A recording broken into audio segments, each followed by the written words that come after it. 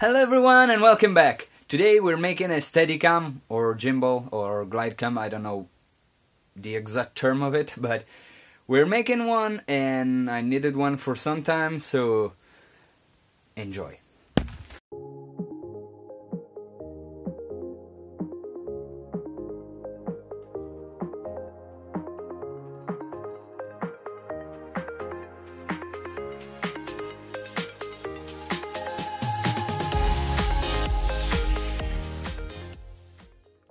Okay, it has been sitting for two days, so now it's foamy.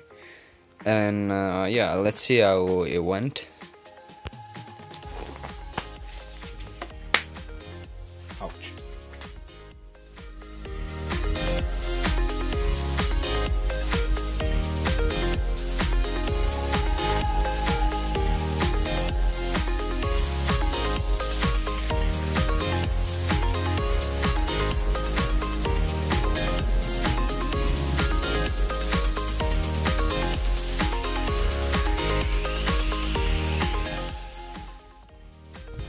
Well, I have to cut this tube in half so you know how it goes, right?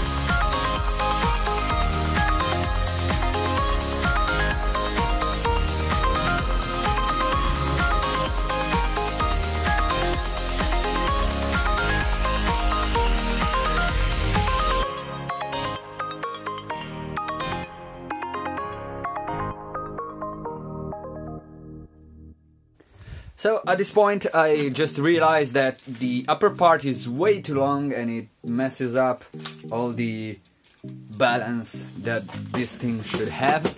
Uh, so back to the drawing table. Uh, no, uh, just kidding. Uh, I'm just gonna chop it.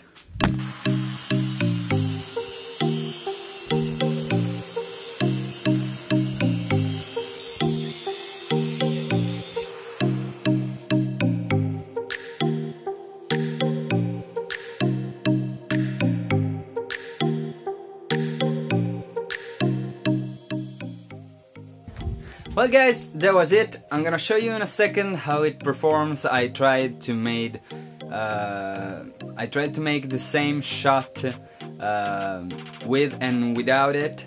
Uh, it's not it's nothing fancy. I'm still learning how to use it. It's not perfect, but it should work as it uh, supposed to. And actually, I want to record the the next video with this and make it cool. So find different locations, see how it works. So uh, make sure not to lose it uh, and we'll see if it makes a difference or not. And for now, that's it. Hope you liked the video. If you're in this kind of thing, consider subscribing and see you next time. Ciao ciao!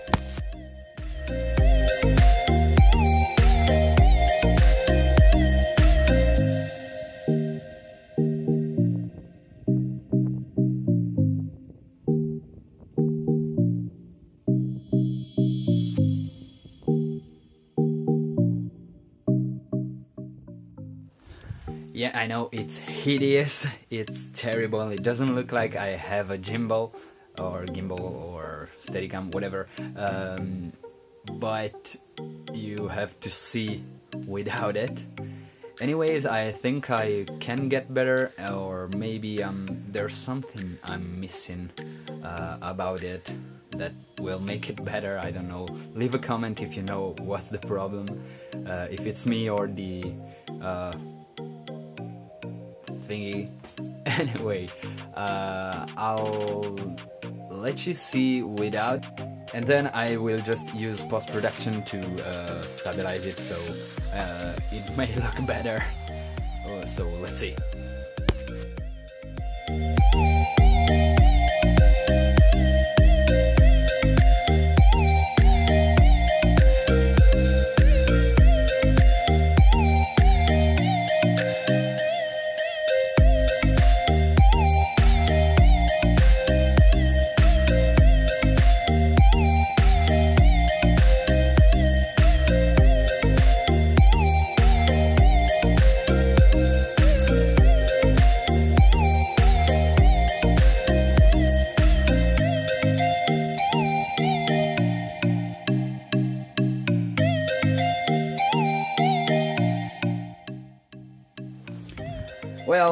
You